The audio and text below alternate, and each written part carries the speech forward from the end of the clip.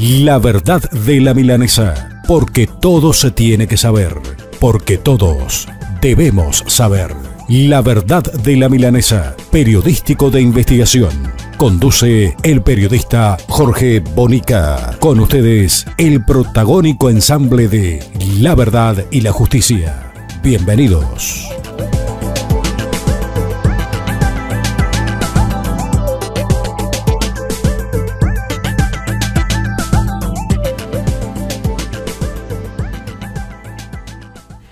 ¿Qué tal amigos? ¿Cómo les va? Muy buenos días. Bienvenidos.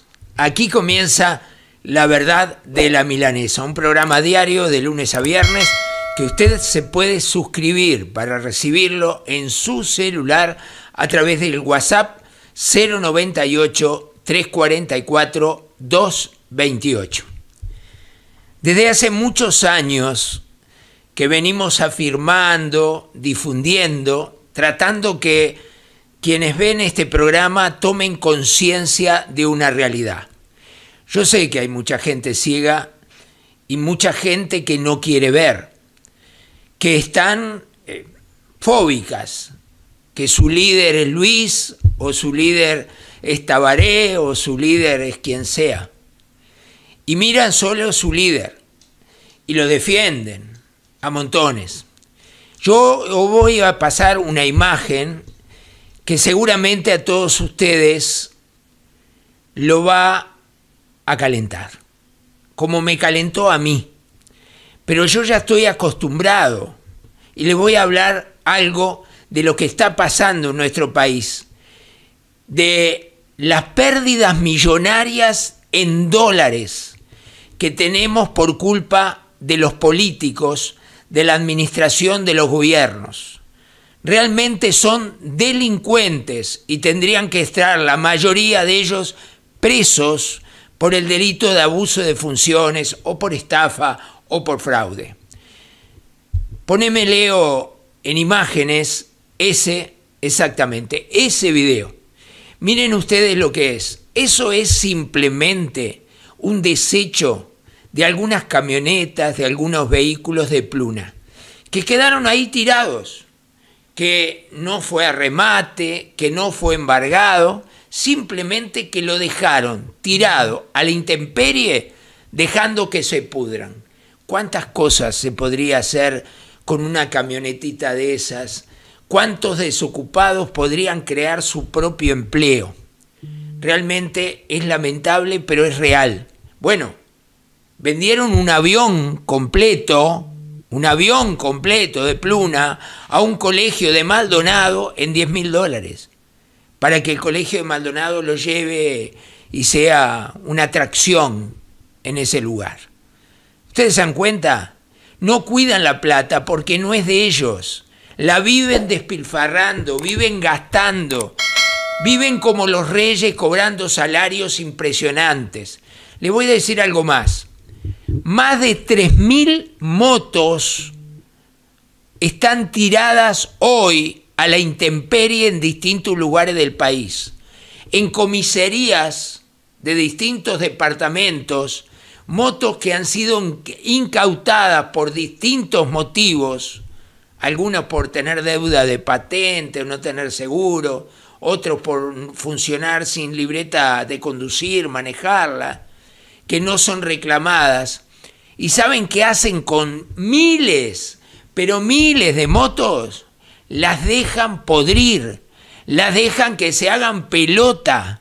Y después todavía son tan inteligentes que en algunas intendencias las ponen en la calle y con una aplanadora las destruyen. Yo digo una cosa, no puede la justicia, el juez o el fiscal competente disponer que esas motos sean entregadas a gente honesta que quiere trabajar, que les sirva para hacer un reparto, una cobranza, iniciar algún negocio familiar. No, destruyen 3.000 motos en nuestro país. Acá vivimos en el mundo del revés.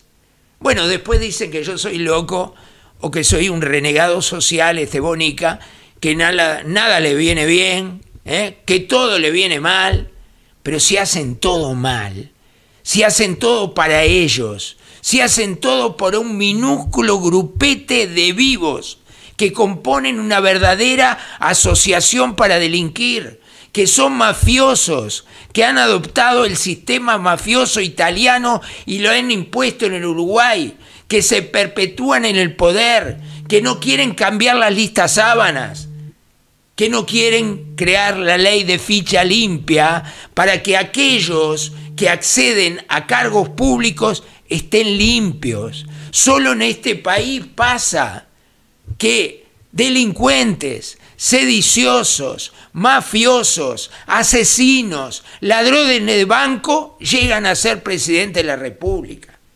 Así no vamos a cambiar nunca, de ninguna manera. Si no nos avivamos los uruguayos, si no nos unimos los uruguayos, los que pensamos honestamente, los que estamos bien intencionados, tengan ustedes seguridad que esto no va a cambiar nunca más y que ya estamos condenados, el 90% de los uruguayos, a vivir en la tristeza, en la agonía, en la depresión y así pasa lo que está pasando en nuestro Uruguay.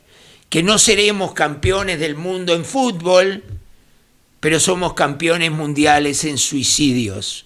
Y este año, 2020, con esta falsa pandemia que nos han impuesto, vamos a batir nuevamente nuestro propio récord y tendremos más de mil uruguayos en un año que resuelven quitarse la vida. Claro, no les importa a los que tienen el poder, no les importa a los dueños de los bancos, no les importa a los que día a día están sangrando los uruguayos con las financieras prestando plata a increíbles intereses usureros sin que nadie diga nada.